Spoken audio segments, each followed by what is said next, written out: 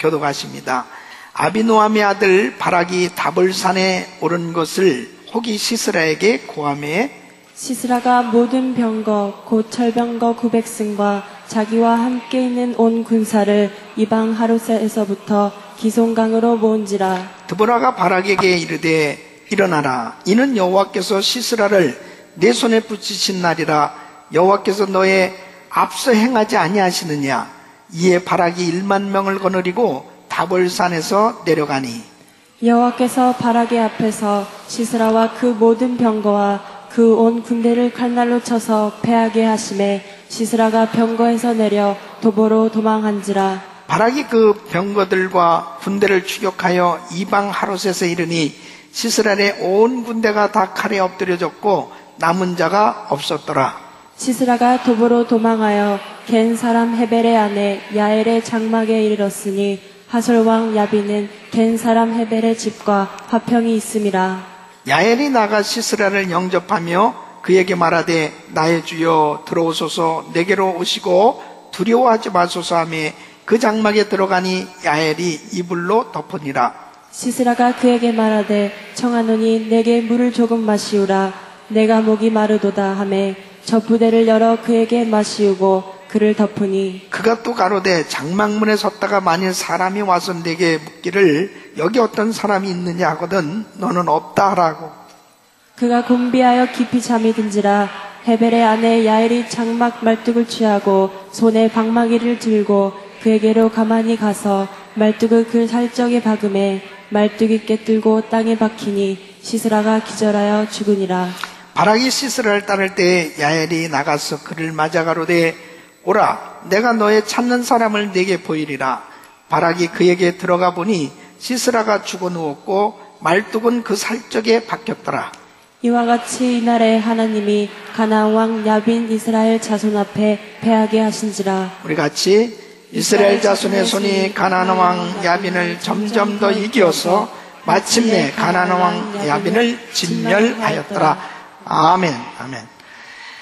하나님께서는 오늘도 우리에게 큰 은혜를 주시는 줄로 믿습니다. 우리 하나님께서는 우리들을 항상 진리 가운데로 인도해 주시는데 오늘 이 말씀을 통해서 영적 승리의 비결을 체험하시고 여러분 생애에 고통스러운 삶 가운데 어려운 문제들 가운데 참 힘들고 어, 고통스러운 그런 삶의 자리에 있는 성도님들은 오늘 이 말씀을 통해서 살아계신 하나님의 구원의 역사를 체험하고 영광의 자리에 세워지는 놀라운 은혜가 있기를 예수 이름으로 축원합니다. 우리 성도님들은 죄악과 싸우는 이 거룩한 군사제들이 되어야 합니다. 이 죄악은 사람들로 하여금 이 고통의 자리에 있게 하는 것입니다. 죄의 싹은 사망이요. 이 죄악은 결국 사람들로 하여금 이 사망의 자리에 있도록 심판의 자리로 이끄는 것입니다. 그래서 이 죄악과 싸워서 이기지 못하면 이 고통의 자리에 머물러 수밖에 없는 것입니다. 그러나 하나님의 은혜로 이 죄악을 이기고 승리하면 바로 하나님의 은혜로 영광의 자리에 세워지는 위대한 간증자가 될 줄로 믿습니다. 그래서 이 영적 싸움에서는 반드시 이겨야 되는 것입니다. 지면 안 되는 거예요. 항상 우리는 이 영적 전투를 벌이고 있는데 반드시 이 죄와 싸워서 이기고 마귀와 싸워서 이겨서 항상 영광의 자리에 세워질 수 있기를 예수 이름으로 축원합니다. 이 오늘 이 본문 말씀은 이 사사기 사사기의 내용인데요. 이 사사기는 이스라엘 의 반복되는 역사를 기록하고 있습니다. 무엇을 반복하고 있느냐? 무슨 반복되는 역사냐? 바로 이스라엘 백성들이 끊임없이 반복해서 죄를 짓는 겁니다. 그러면 하나님께서는 반복해서 그 죄악에 빠져 있는 이스라엘 백성들을 꼭 징계하시는 거예요. 그러면 하나님 앞에 징계를 받는 이스라엘 백성들은 늘 고통 가운데 있게 되어집니다. 고통의 자리에서 하나님을 향하여 절규합니다. 하나님 살려주세요. 하나님 앞에 간절히 간구하면 하나님께서는 또 하나님의 사랑과 은혜와 극률과 자비로 그 고통 가운데서 부르짖는 그 이스라엘 백성들을 구원해 주시는 것을 볼 수 있습니다. 그래서 끊임없이 이스라엘 백성들이 반복해서 죄를 짓고 하나님께서는 반복해서 그들에게 징계를 하시고 그들이 반복해서 부르짖으면 하나님께서는 반복해서 그들을 구원해 주시는 이 역사가 바로 이스라엘의 이 역사인 것입니다. 그래서 하나님께서는 이 이스라엘 백성들을 다루어 가듯이 바로 오늘날 예수 그리스도를 믿는 하나님의 자녀들을 똑같이 다루고 계신 겁니다.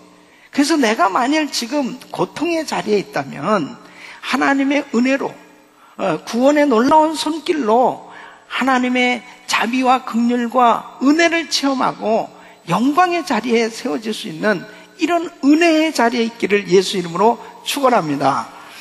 잠언 26장 11절 말씀 보면 개가 그 토한 것을 도로 먹는 것 같이 미련한 자는 그 미련한 것을 거듭 행하느니라 그랬어요. 그래서 이스라엘 백성들의 예, 그 계속 반복되어지는 그 아, 죄를 짓는 모습들을 보면서 예, 특별히 이 사사기를 요즘 묵상하면서 우리가 아, 얻을 수 있는 교훈은 뭐냐면 아 나는 이렇게 살지 말아야 되겠다. 나는 정말 이스라엘 백성들처럼 이렇게 바보 같은 신앙생활을 하지 말아야 되겠다. 이러한 아, 결론을 얻게 되는 것이죠. 그리고 특별히 아, 이 영적 전투에서만큼은 반드시 승리하고 항상 영광의 자리에 하나님께서 우리를 세워주시는 그 은혜를 체험해야 되겠다라고 하는 것을 깨닫게 되어지는 것입니다.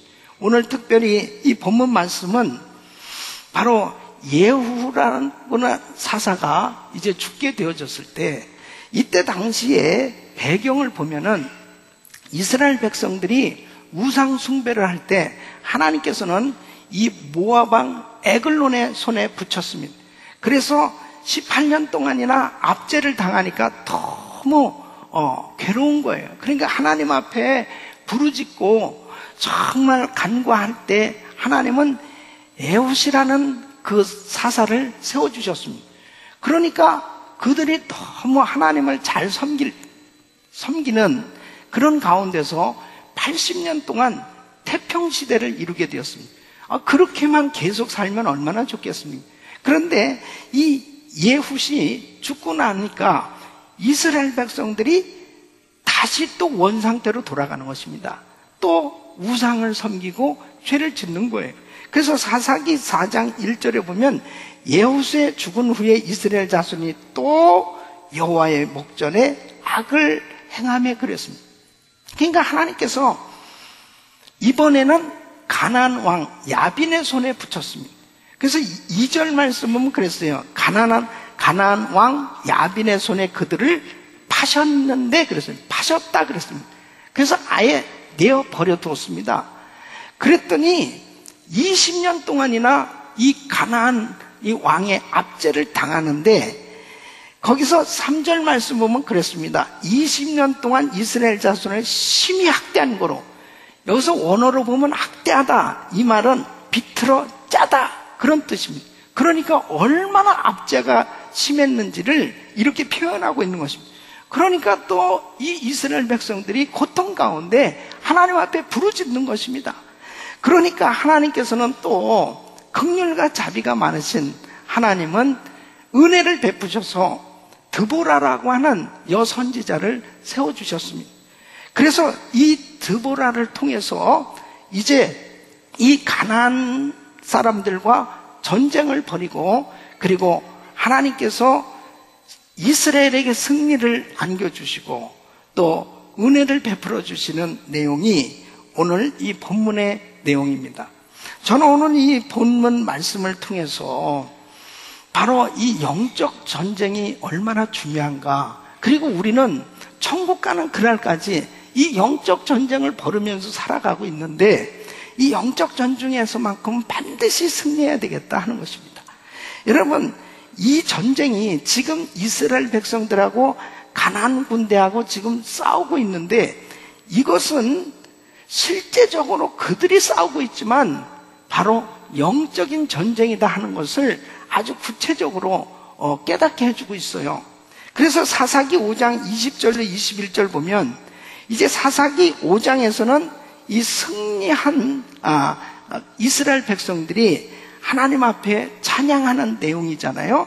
거기에 구체적으로 어떻게 승리하는가를 기록하고 있습니다. 그래서 20절 보면 별들이 하늘에서부터 싸우되 그 다니는 길에서 시스라와 싸웠도다. 기손 강은 그 무리를 표류시켰으니 그랬습니다. 그러니까 이 가나안 왕은 900승이나 되는 철병거를 가지고 있었습니다.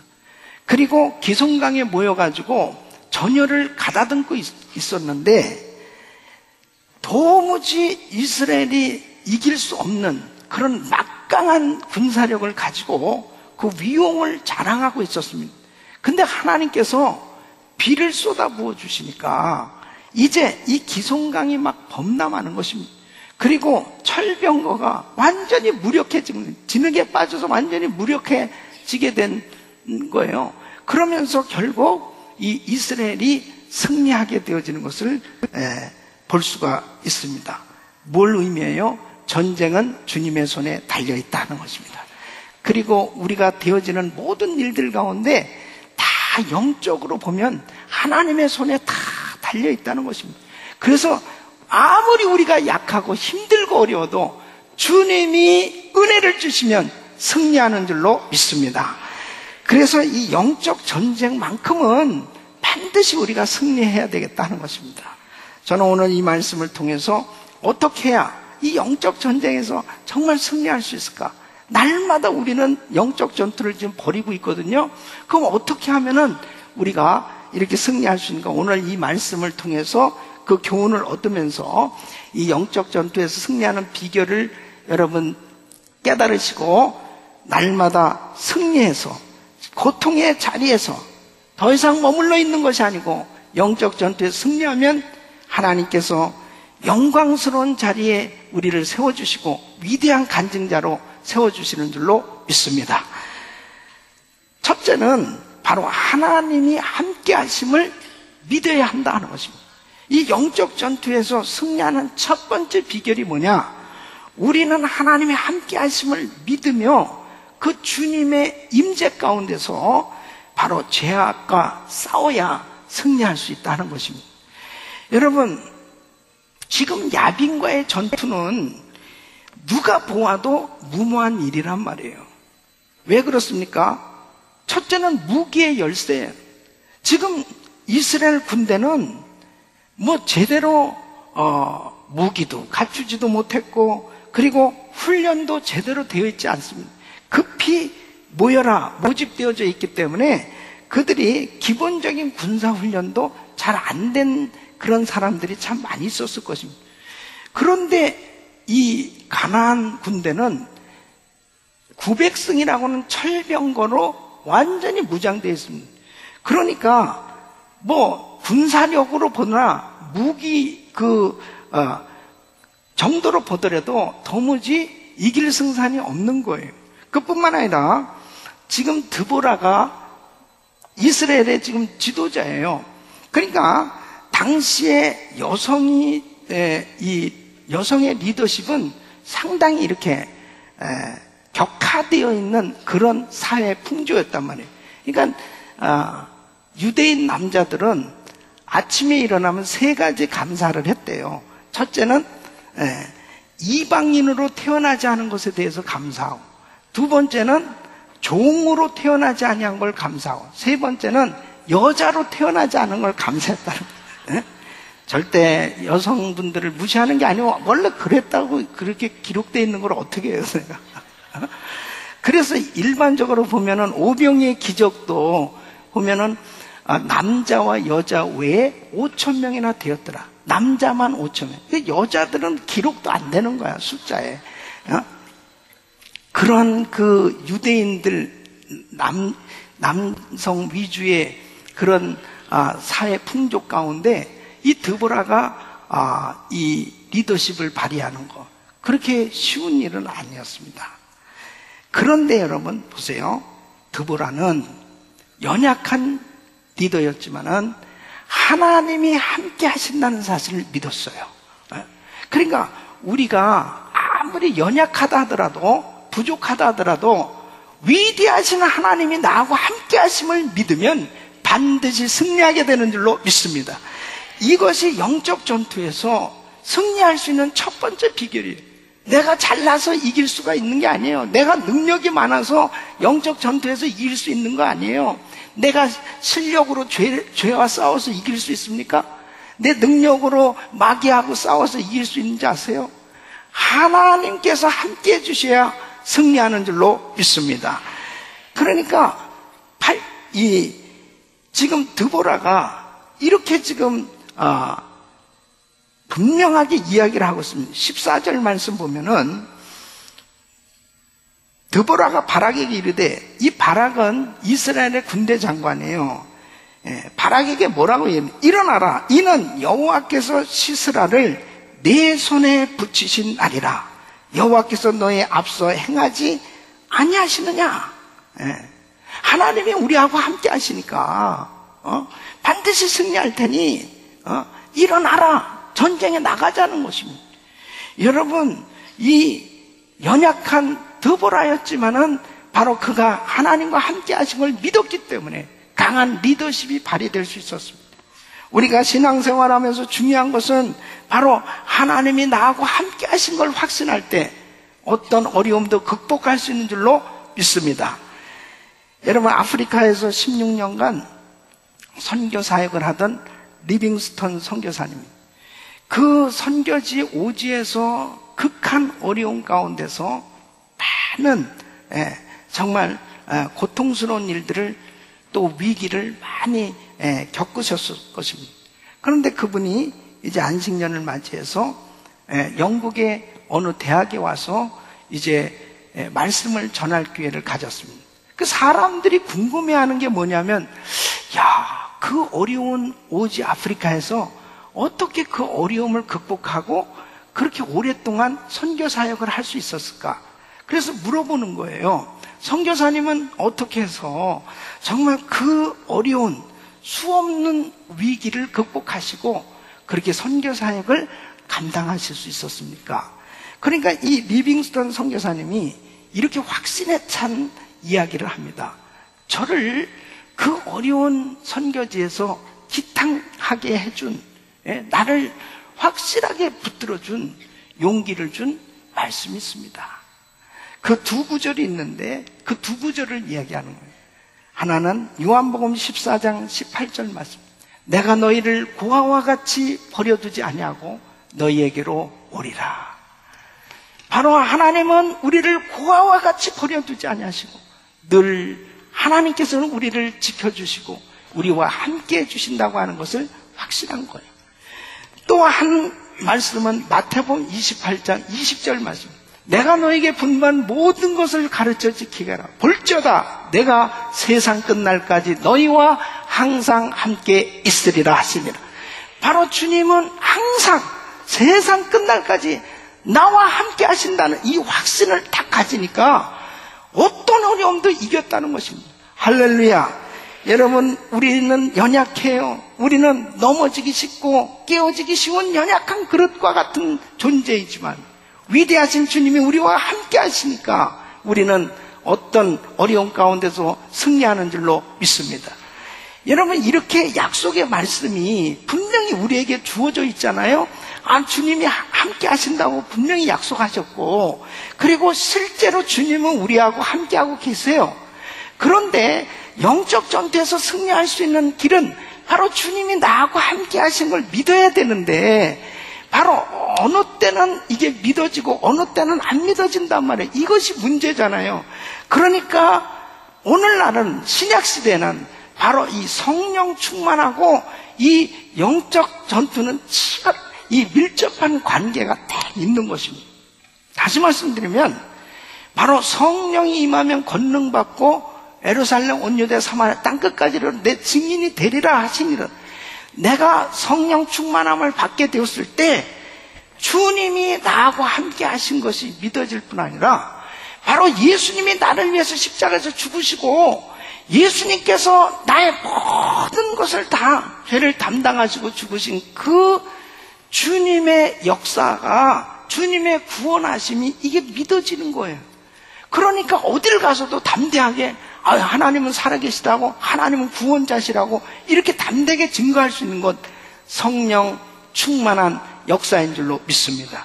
그래서 성령 충만함을 받으면 주님이 분명히 나하고 함께 하신 게 믿어진다는 거예요. 예. 그러니까 벌써 성령 충만하지 않으면은 이게 헷갈리기 시작하는 겁니다. 주님이 나를 버리셨나? 주님이 나, 나, 나는 사랑을 안 하시는 것 같아. 의심이 생겨지고 별 생각이 다 듭니다. 그 이유는 다른 게 아니에요. 주님은 변함없이 나를 사랑하고 계시고 나하고 함께하고 계신데 문제는 내가 성령 충만하지 않으면 자꾸 이런 의심이 들어온단 말이에요. 그래서 에베소서 5장 18절에 이렇게 말씀하고 계십니다. 술 취하지 말라. 이는 방탕한 것이니 오직 성령의 충만을 받으라 그랬습니다. 여러분 성령의 충만을 받으라. 이 말씀은 성령으로 충만하게 되어져라. 이런 명령형입니다. 성령으로 충만하게 되어져라는 이 말씀은 바로 성령님의 포로가 되어라 그러는 거예요. 성령님께 사로잡히라는 거예요. 내가 성령님의 지배를 당하고 성령님께 사로잡히면 그분이 나를 이끄시는 삶이 되어지면 악한 원수마이가 틈탈 수가 없는 것입니다. 마귀가 건들 수도 없어요. 성령 충만한 하나님의 자녀들은 하나님의 그 말씀이 확실히 믿어지니까 악한 것들이 꼼짝 못한단 말이에요. 그러나 내가 성령 충만하지 못하면 자꾸 약해지는 것입니다. 시험 들게 되어지고 주저앉게 되고 낙심하게 되는 그래서 마태복음 26장 41절 보면 예수님께서 베드로와 제자들에게 시험에 들지 않게 깨어 기도하라고 마음에는 원이로되 육신이 약하더니 주님은 우리가 육신적으로 약한 거, 영적으로 약한 거 너무나 잘 아세요. 그래서 내가 기도하지 않고 성령 충만하지 않으면 금방 시험 드는 거 우리 주님이 아신다니까요. 그러니까 시험에 들지 않도록 깨어있어 기도하라. 이 말씀을 너 성령 충만해라 이거예요. 바로 내가 성령 충만해야 시험을 이기고 악을 이기고 영적 전투에서 이길 수 있는 줄로 믿습니다. 이사야서 41장 10절 말씀 우리 같이 읽겠습니다. 시작. 두려워 말라. 내가 너와 함께하면 놀라지 말라. 나는 내 하나님이 되면 내가 너를 굳세게 하리라. 참으로 너를 도와주리라. 참으로 나의 의로운 오른손으로 너를 붙들리라. 아멘. 믿습니까? 두려워 말라는 거죠. 내가 너와 함께하고 주님이 나하고 함께 하신 걸 확신할 때 우리는 영적 전투에서 승리하게 될 줄로 믿습니다. 두 번째는 승리의 약속을 믿어야 되는 것입니다. 우리 예수님께서 이루신 이 승리의 약속이 나의 삶에도 그대로 이루어질 것을 믿을 때 그 믿음을 보시고 주님께서는 우리에게 승리를 허락하시는 줄로 믿습니다. 그래서 보십시오. 지금 드보라는 분명히 하나님께서 승리를 약속하셨, 이 약속을 아주 확실히 믿었어요. 그 약속을 믿었기 때문에 이스라엘 군대 장관 바락에게 일어나라는 거예요. 이제 내려가서 싸우라는 거예요. 주님이 그들을 네 손에 붙였다. 이것은 승리는 우리의 것이라는 거예요. 이것을 믿고 나갔을 때 그들은 연약했지만 하나님 방법으로 다 그 대적을 물리치게 해주시고 승리를 안겨주신 줄로 믿습니다. 그래서 주님이 약속하신 그 약속을 우리가 믿는 것이 얼마나 중요한지 이루 말할 수가 없는 것입니다. 여러분, 사사기 4정 9절에 보면은 이 드보라가 이렇게 이야기합니다. 내가 반드시 너와 함께 가리라. 그러나 내가 이제 가는 일로는 영광을 얻지 못하니 이는 여호와께서 시스라를 여인의 손에 파실 것임이니라 하고 드보라가 일어나 바락과 함께 게데스로 가니라. 그래서 지금 어, 오늘 이 본문 말씀을 보면 이 이스라엘이 가난 군대하고 싸우는데 이 두 여자가 맹활약을 벌이는데요. 이 한 사람은 바로 드보라고 한 사람은 야엘이라고 하는 여자입니다. 여자들이 참 약한 것 같지만 보통 센 여자들인 걸 이거 보세요. 지금 이스라엘 백성들이 얼마나 이 가난 군대하고 싸우는 것이 두려웠으면은 지금 이스라엘 이 군대 장관인 이 바락이 야 일어나라 이제 하나님이 내 손에 어, 그들을 붙였다 그러니까 전쟁에 나가자 그랬을 때 뭐라고 그럽니까? 뭐라고 그러냐면은 예? 당신이 함께 가지 하냐면은 나는 안 가겠습니다. 그래요. 그러니까 참 이 이스라엘 군대 장관도 드보라의 치마를 붙들고 같이 갑시다. 전쟁에 같이 나가자는 거예요. 예. 그러니까 뭐라고 그래요? 예. 내가 반드시 너와 함께 가리라. 남자들 체면 완전히 다 구겨지는 거야. 음.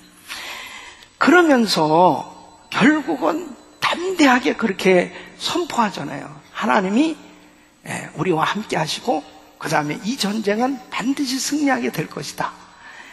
그 다음에 어떤 예언을 했냐면은 그 가난 군대 장관 시스라를 여인의 손에 파실 것이라 했는데 그 여인이 누구냐면은 야엘이라고 한 여인.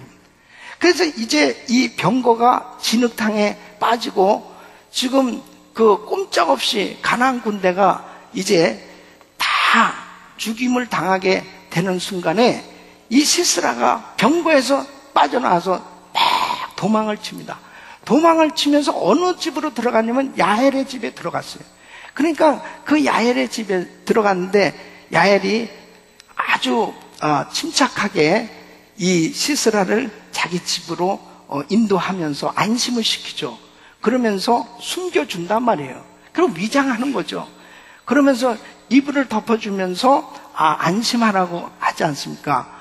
그렇게 하고 이제 정말 이 시스라는 아, 확실하게 안전한 곳인지 알고 잠을 자고 있었는데 그때 이 야엘이 말뚝하고 방망이를 가지고 나타난 것입니다. 여자들 무서운 거예요, 그러가. 그리고 자고 있는 이 시스라를 향해서 살에다가 이 말뚝을 그냥 박은 거야. 그 땅까지, 어? 땅, 땅까지 박힐 정도로 그래가지고 이 시스라가 기절해서 죽습니다. 두 여자를 보세요. 드보라와 야엘. 어떤 면에서 보면 예? 연약한 여자들이지요. 그러나 하나님께서 그들을 사용하시니까 어떤 큰 군대의 수, 어떤 예, 무기의 종류가 문제가 아니고 연약한 여인들이라 하더라도 하나님이 그들을 붙들고 쓰시니까 위대한 승리를 안겨주는 위대한 영적 군사가 된 줄로 믿습니다. 여러분, 이것이 바로 신앙생활의 중요한 승리의 요인이 바로 여기에 있는 거예요. 아, 목사님, 나는 정말 부족해요. 나는 뭐 가진 게 없어요. 나는, 어, 뭐 아는 것이 없어요. 나는, 어, 능력이 없어요. 내 힘으로 승리할 수 없는 거예요. 주님께서 약속을 주신 그 약속의 말씀을 붙들고 승리의 약속을 믿고 나가면 반드시 그 약속이 내 삶에 이루어진다니까. 그러니까 보십시오. 예수님께서 나를 위해서 십자가에서 죄와 저주와 질병과 가난을 다 담당해 주셨습니다. 바로 예수님은 이미 우리를 위해서 승리하셨다니까요. 그러니까 내가 그리스도 예수 안에서 하나님께서 나에게 주신 그 승리를 믿으면 죄를 이길 수 있는 거예요. 어? 질병을 이길 수 있는 거예요. 가난을 이길 수 있는 겁니다. 할렐루야. 마귀를 이길 수 있는 거예요. 예? 여러분, 골로새서 2장 13절로 15절. 우리 같이 읽겠습니다. 시작. 또 너희의 범죄와 육체의 무할례로 죽었던 너희를 하나님이 그와 함께 살리시고 우리에게 모든 죄를 사하시고 우리를 거스리고 우리를 대적하는 의문에 쓴 증서를 도말하시고 제하여 버리사 십자가에 못 박으시고 정사와 권세를 벗어버려 밝히 드러내시고 십자가로 승리하셨느니라. 아멘. 십자가로 승리하신 줄로 믿습니다. 이미 십자가에서 우리 주님은 다 이루어 놓으신 거예요. 너희가 세상에서 환란을 당하나 담대하라. 내가 세상을 이겼노라. 세상을 이기신 예수님. 바로 그분이 우리에게 승리를 약속하셨다니까요. 지금 이 드보라는 주의 음성을 듣고 이미 우리가 승리했구나. 하나님 이 확신을 딱 가지고 믿음으로 발을 내디뎠을 때 하나님께서는 그 믿음대로 승리를 안겨주신 거예요.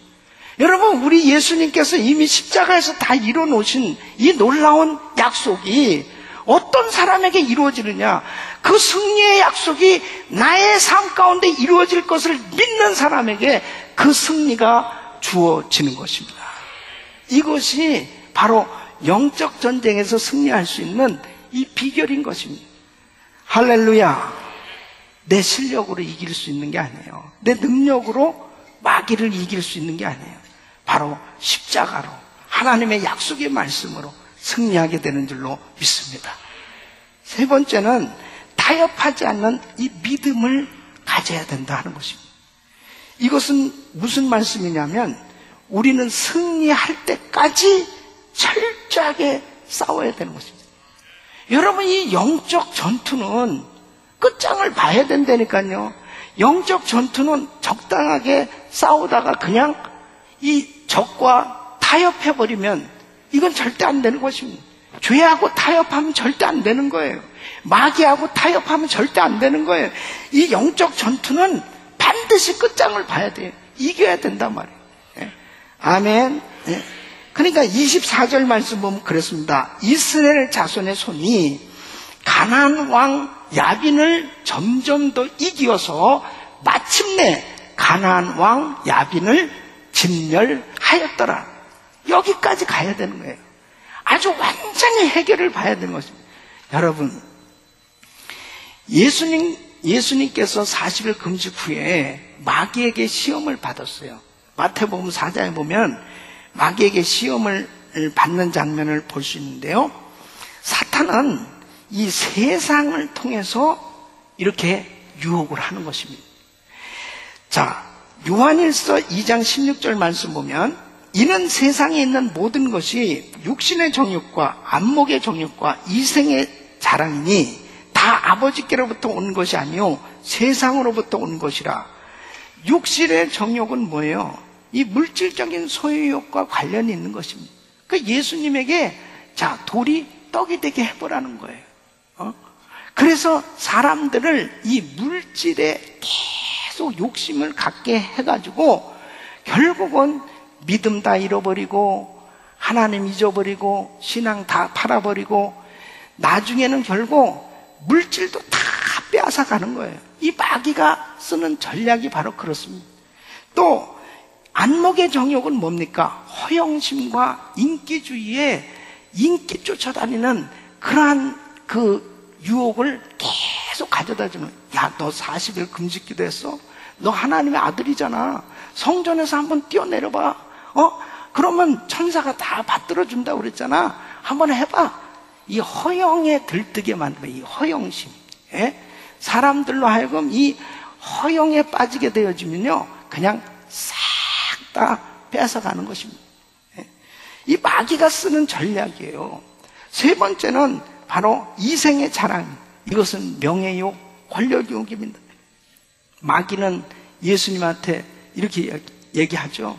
너 나한테 절해봐. 어? 그럼 천하 영광을 너한테 다 줄게. 어? 아주 교묘하게 이 마귀는 이 욕심에 빠지게 만든단 말이에요. 그러니까 여러분 보세요. 오늘날 기업인들이나 정치인들이나 연예인들이나 할 것 없이 예? 계속해서 이 명예욕을 갖도록 그 다음에 끊임없이 권력욕을 갖도록 인기를 추구하고 계속 하다가 결국은 죄를 짓게 만든단 말이에요. 그래가지고 완전히 추락시켜버리는 거예요. 그러니까 이 마귀하고는 절대로 타협하면 안 된다니까요. 이 죄하고는 아주 타협하면 큰일 납니다. 여러분 보세요. 출애굽기 8장에서 10장까지 보면은 이제 하나님께서 이스라엘 백성들을 애굽에서 끌어내야 되잖아요. 어? 그런데 이 바로가 이 백성들을 안 놓는 겁니다. 마귀가 그렇게 즐겨요. 절대 하나님의 자녀들 물고 늘어지는 거야, 끝까지. 그냥 놔두지를 않아요. 예. 그러니까 막 열 가지 재앙을 내리면서 이 엄청난 재앙을 당하니까 이제 정신을 차리게 되면서 이 예, 모세와 아론을 부르잖아요. 그래서 타협을 하자는 거죠. 그래서 출애굽기 8장 25절 보면 바로가 모세와 아론을 불러 이르되 너희는 가서 이 땅에서 너희 하나님께 희생을 드려라. 뭐냐면 가지 말고 그냥 이 애굽 땅에서 어, 제사 드려 예배 드려 그게 아니잖아요. 그러니까 28절에 보면 바로가 가로되 내가 너희를 보내리니 너희가 너희 하나님 여호와께 광야에서 희생을 드릴 것이니 너무 멀리 가지는 말라. 너무 멀리 가. 마귀가 아주 그냥 안 놀려고 그런다니까요. 예. 그러니까 그게 아니잖아요. 우리 보내라는 거죠. 예. 그러니까 출애굽기 10장 11절 보면 어, 너희 남정만 가서 여호와를 섬기라 그래. 너희 그러면 남자들만 가. 네 아내와 어, 그다음에 자식들은 두고 어, 너희들만 남자들만 가라. 그렇게 놓지 않으려고 몸부림을 치는 모습이잖아요.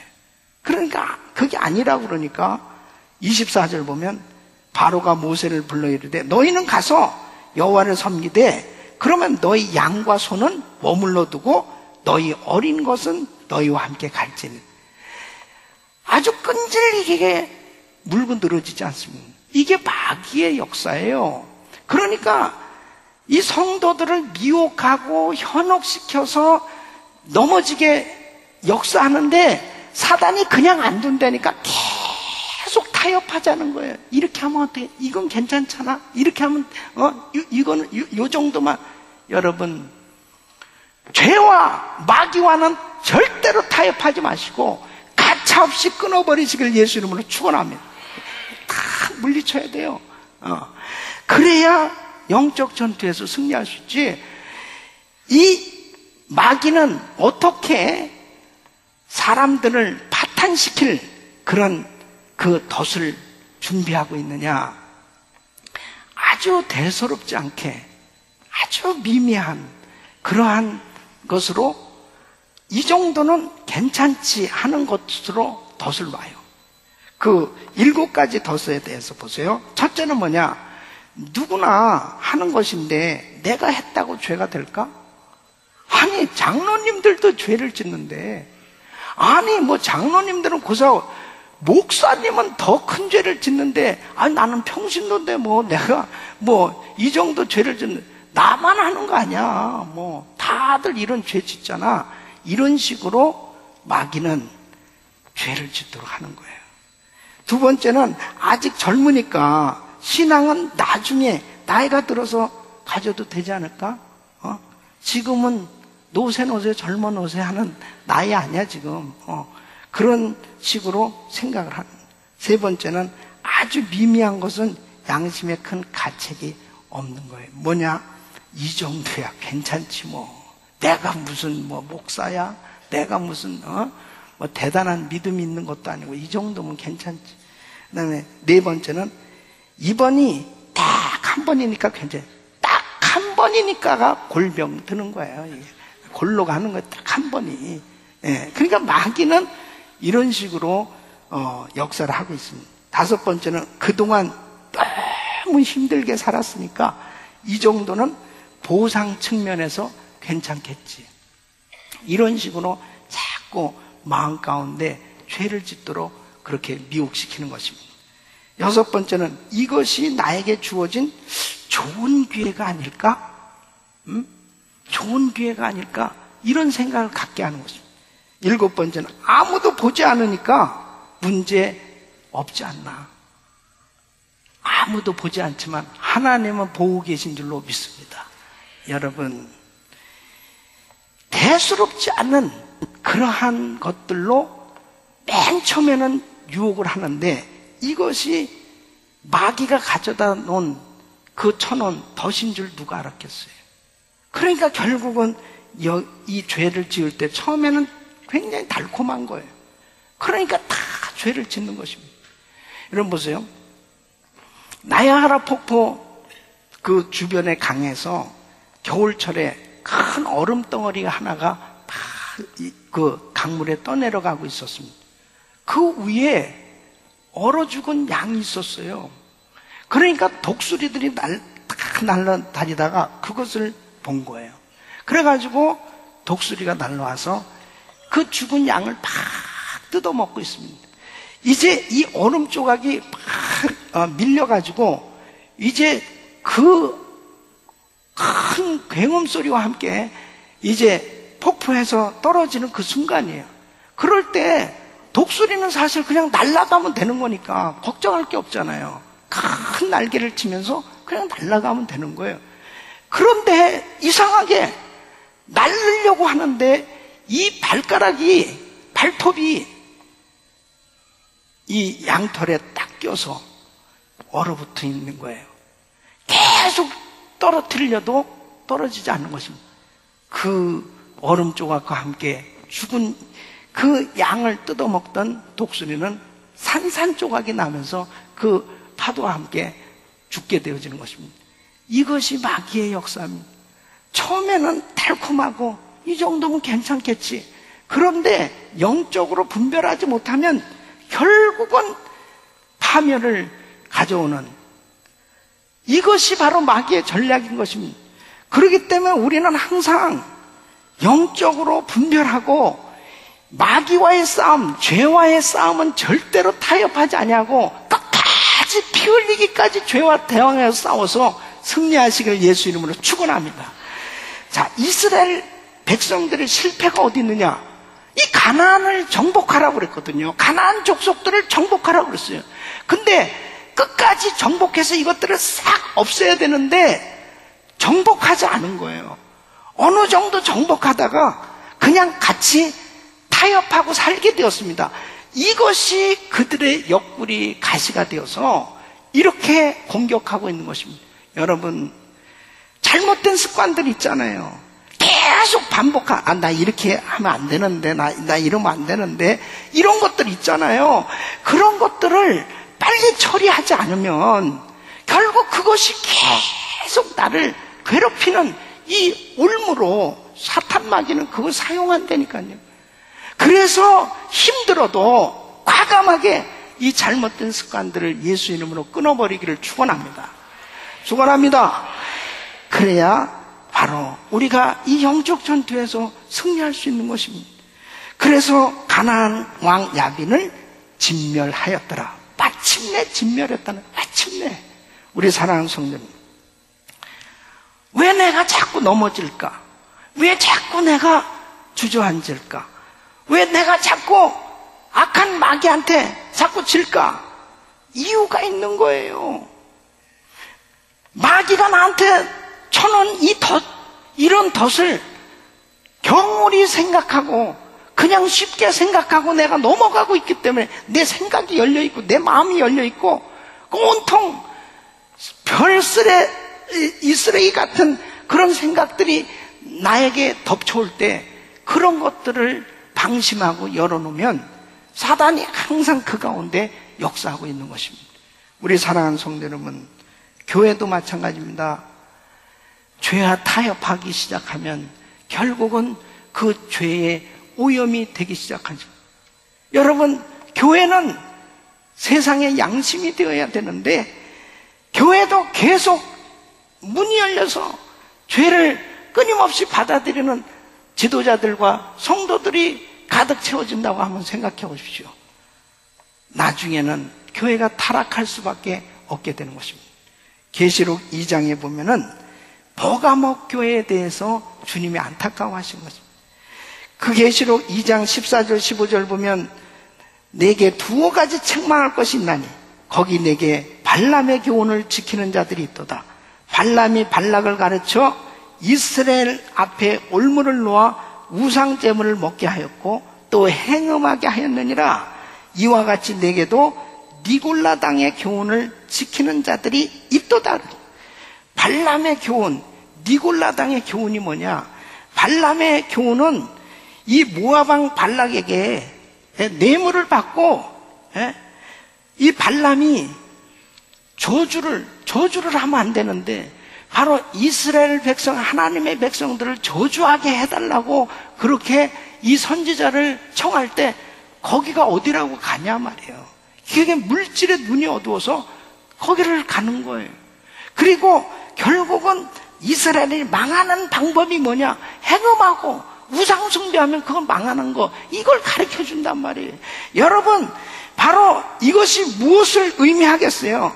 물질의 눈이 어두면은 신앙을 팔아먹는 것입니다. 뿐만 아니라 니골라당의 교훈은 뭐냐?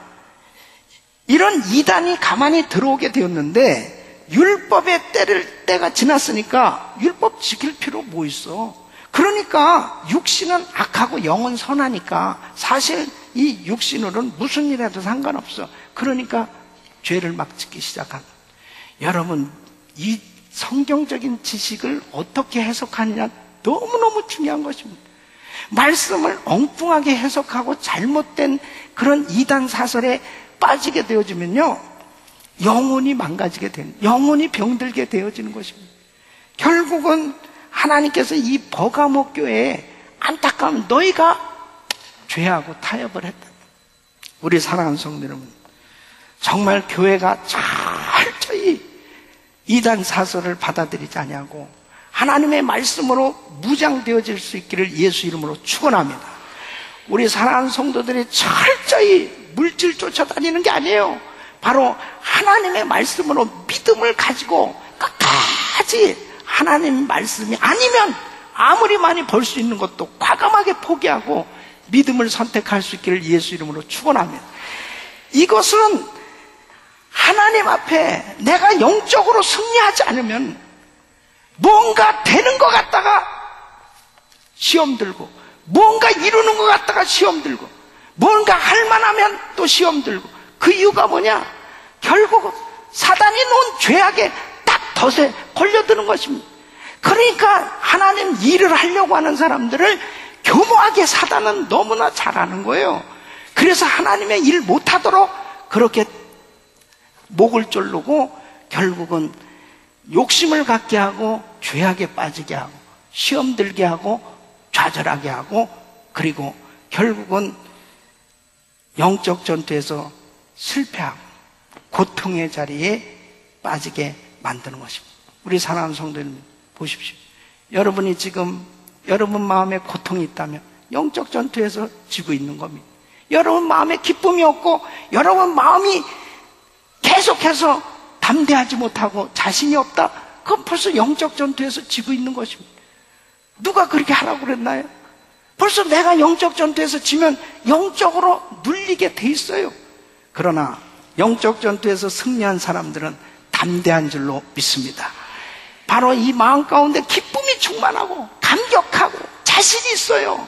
그리고 독수리나 날개치며 올라갔던 샘을 가지고 어떤 어려움과 시험 가운데서도 당당하게 하나님이 나를 사랑하신다. 하나님이 나하고 함께 하신다. 하나님께서 나에게 이 모든 것을 다 허락하셨다고 자신있게 복음을 증거하면서 예수 그리스도를 증거하면서 승리하는 삶이 되는 줄로 믿습니다. 우리 사랑하는 성도 여러분, 지면은, 영적 전투에서 지면 고통의 자리에 머무를 수밖에 없어요.